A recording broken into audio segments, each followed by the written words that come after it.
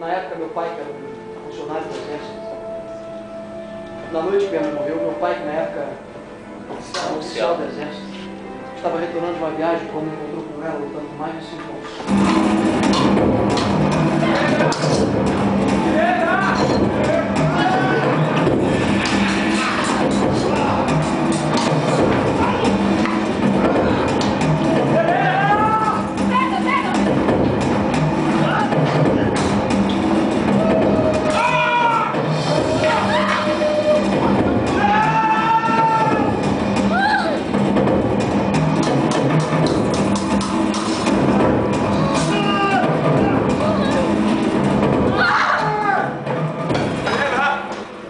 Fala comigo, Helena. Fala comigo, Helena. Alejandro,